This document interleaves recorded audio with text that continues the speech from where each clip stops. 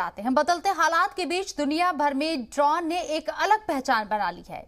जमाने के साथ चलते हुए कर्नाटक में पहला ड्रोन ट्रेनिंग सेंटर का आगाज़ हो चुका है। अब यहाँ से ड्रोन ट्रेनिंग के साथ लाइसेंस भी जारी किए जाएँगे। देखिए खास रिपोर्ट।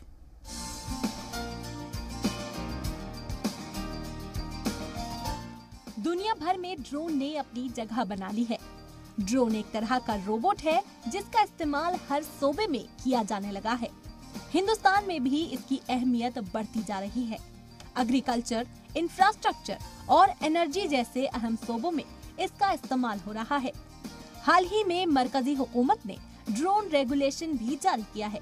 इसी वजह से सरकारी इदारे, इंदिरा गांधी राष्ट्रीय उड़ान अकादमी दीगर चीज़ों के अलावा ड्रोन ट्रेनिंग देकर पायलट तैयार कर रही है।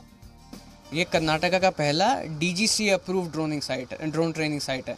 मतलब अभी तक सरकार, जब ये अब नए रूल्स आए हैं ड्रोन रूल्स आए हैं 2021 में इनफैक्ट अभी मोदी जी ने ही इस, इनके बारे, इसके बारे में चर्चा पिछले हफ़्ते करी है, जिसमें अब पूरी की पूरी ड्रोन इंडस्ट्री इन नए रूल्स के तहत बहुत खुल जाएगी। इसके तहत अब यहाँ से लाइसेंस ड्रोन पायलट बनेंगे। तो जैसे गाड़ी के लिए लाइसेंस चाहिए रहता है, ऐसे ही सरकार ने इस नए रूल्स के तहत इंस्ट्रक्ट किया है कि जिन लोगों को ड्रोन पायलट बनना है या आज जो ड्रोन पायलट्स हैं, उनको अब आकर एक सरकारी एजेंट एक डी अप्रूव्ड ट्रेनिंग ऑर्गेनाइजेशन जैसी हमारी है, उनसे इनको लाइसेंस लेना पड़ेगा। सरकार ने कहा कि हम ड्रोन ट्रेनिंग में भी आगे आए।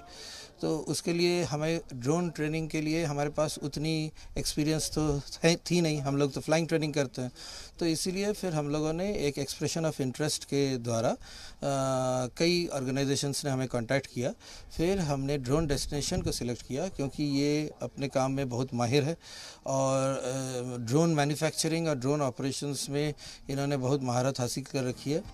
मरकजी हुकूमत ज़मीन के सर्वे के लिए ड्रोन का इस्तेमाल कर रही है।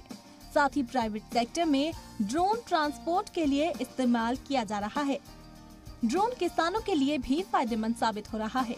ड्रोन सिर्फ़ और सिर्फ़ एक ऐसा प्लेटफॉर्म है या ऐसा एक ट्रेनिंग कोर्स है, जहाँ अगर हमने पाँच दिन की ट्रेनिंग की तो हमें एक प्रोफेशनल जॉब अपॉर्चुनिटी मिलेगी वाइट कॉलर और मिनिमम सैलरी तीस हज़ार रुपये पर मंथ से शुरू होता है।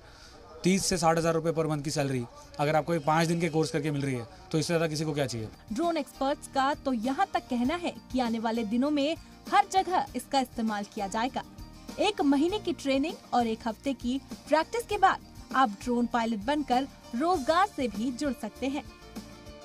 मोबाइल फ़ोन की तरह ही ड्रोन अब हर चीज़ में इस्तेमाल हो सकता है। जब मोबाइल फ़ोन आया था, लोग ये समझ रहे थे कि सिर्फ़ मोबाइल फ़ोन फ़ोन में बात करने के लिए है, लेकिन फ़ोन के ज़रिए आज के डेट में बहुत सारी चीज़ें हो रही हैं। इसी तरह से ड्रोन इंडस्ट्री भी बहुत ही बड़े तेज़ी के साथ आगे बढ़ रही है। आने वाले दिनों में हमें बहुत बड़े पैमाने पर ड्रोन इंडस्ट्री का ग्रोथ और उसमें एम्प्लॉयमेंट देख सकते हैं। कैमरा पर्सन समीर के साथ शाहिद काजी, बेंगलुरु।